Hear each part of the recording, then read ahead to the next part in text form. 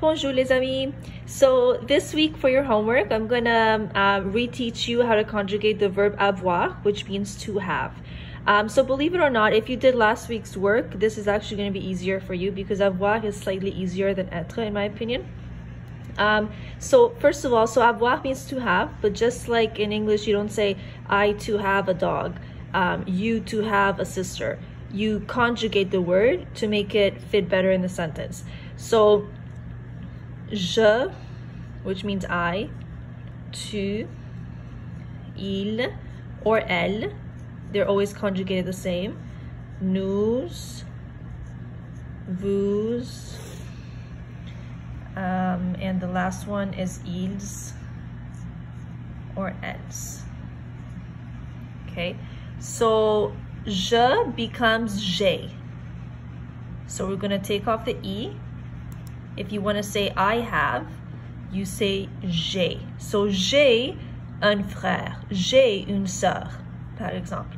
Tu as, you have. Il a or elle a. He has, she has.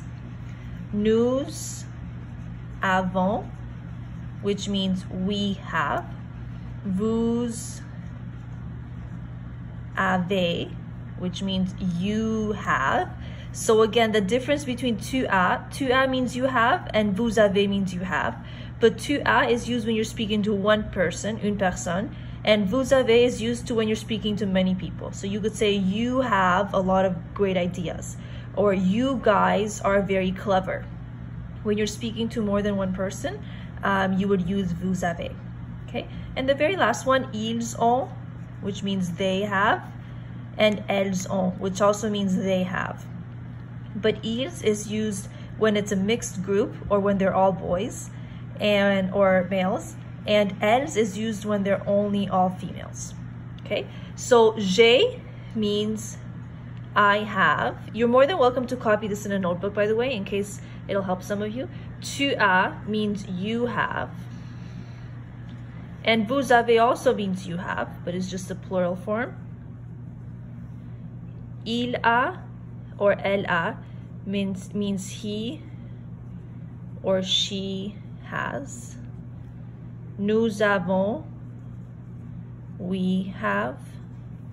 Vous avez, we already did that one, you have. And ils ont or elles ont means they have.